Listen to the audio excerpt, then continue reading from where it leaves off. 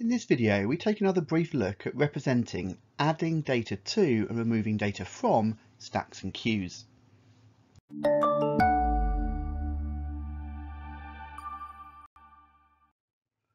We covered all of this content in detail when we introduced you to stacks and queues back in SLR 14, data structures.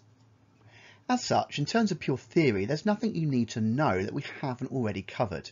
However, as the exam board has added this additional point to the specification, you may also be asked coding questions about these data structures in the component 2 paper on algorithms and programming.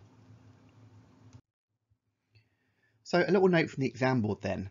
The OCR clarification document states you should have experience of using both data structures, understand the differences and similarities between them, need to be able to add and remove data from stacks and queues, understand how pointers are used in stacks and queues, need to understand how they can be implemented, for example using an array of pointers, and need to be able to read, correct and write algorithms to add and remove data and manipulate data items in stacks and queues. Now, as we said, we've covered this previously, but it may be a while since you've watched the video. So we're going to kind of give a summary recap here. A stack is a data structure that is essential for a computer to operate. Items are pushed onto the top of a stack, and when they're added to it, and popped off of the stack when they're deleted from it. It's also possible to peek at the top item without deleting it. Imagine a stack of coins. A coin can only be added to or removed from the top of the stack. The stack is known therefore as a last in, first out or LIFO structure. The item to be pushed onto the stack must also be the first item to be popped off. The stack pointer always points to the node at the top. Any attempt to push an item onto a full stack is called a stack overflow. Conversely, an attempt to pop an item off an empty stack is called a stack underflow, and both of these potential outcomes should be considered before attempting to push or pop an item. A stack is often implemented using an array, but can also be created using object-oriented techniques. A queue, on the other hand, is a linear data structure Items are enqueued at the back of the queue and dequeued from the front of the queue. Once again, it's also possible to peek at the front item without deleting it.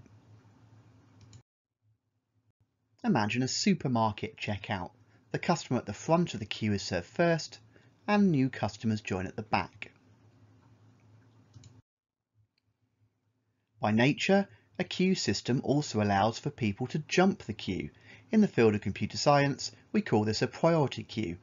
In special circumstances, new items can join at the front of the queue. A queue is therefore known as a first in, first out or FIFO structure. The back pointer, sometimes called the tail pointer, always points to the last item in the queue.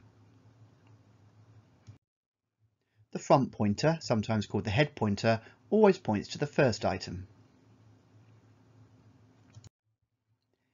Any attempt to enqueue an item in a full queue is called a queue overflow. Meanwhile, trying to dequeue an item from an empty queue is called a queue underflow.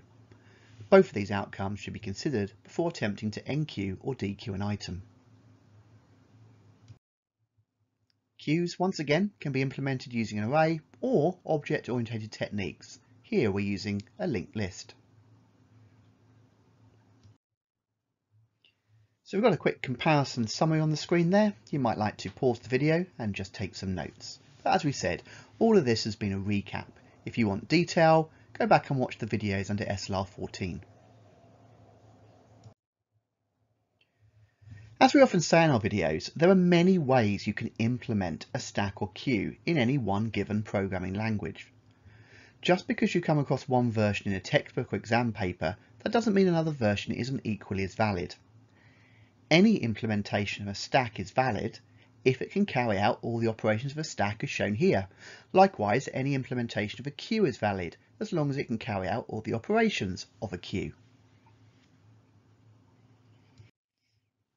Let's consider the example of adding, or pushing a new item onto a stack.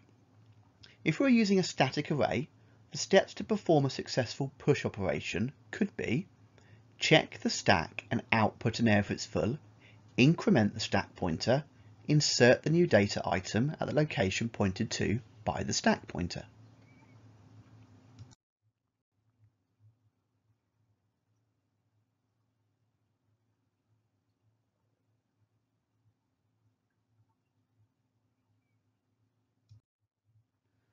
The pointer doesn't necessarily have to point to the top item in the stack though.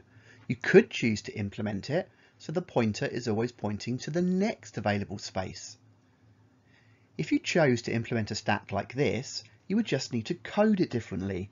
For example, when pushing a new item, you would add the new item to the location being pointed to, and then increment the top pointer. Looking at our pseudocode here, that would involve swapping over two lines of code. Further changes to the code would be required, but the implementation would still be perfectly valid. As we mentioned earlier, you may choose to use object-oriented techniques and implement your stack using a dynamic linked list.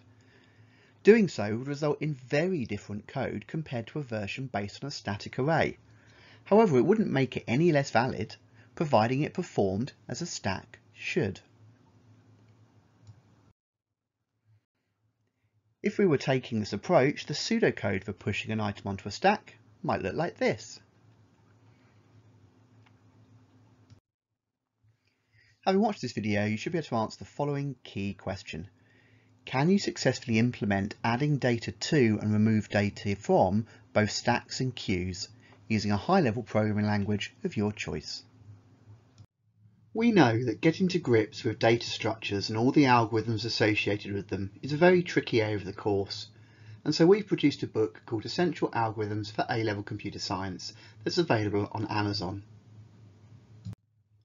It covers all the data structures you need to know about, along with the algorithms you need to perform on them, and it covers all the exam boards. We overview each data structure, discussing its typical applications and the operations you can perform on it we provide a QR code that jumps off to a useful page of additional resources.